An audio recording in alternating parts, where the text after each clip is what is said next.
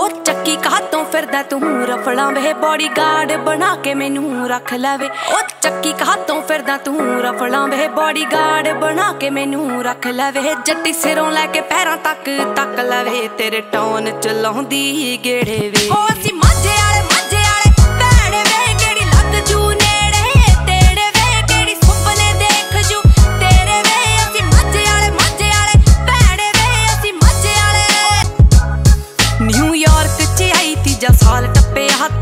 ਤੇਰੇ ਨਾ ਜੱਟੀ ਨੇ ਕੋਈ ਹੋਰ ਤੱਕਿਆ ਲੱਕ ਪਤਲਾ ਜੋ ਤੂਤ ਵਾਲੀ ਛੱਡੀ ਪਈ ਆ। ਗੌਰ ਕਰਦਾ ਨਹੀਂ ਅੰਦਰੋਂ ਮੈਂ ਤੱਪੀ ਪਈ ਆ। ਉਹ ਕੋਕਾ ਨੱਕ ਵਾਲਾ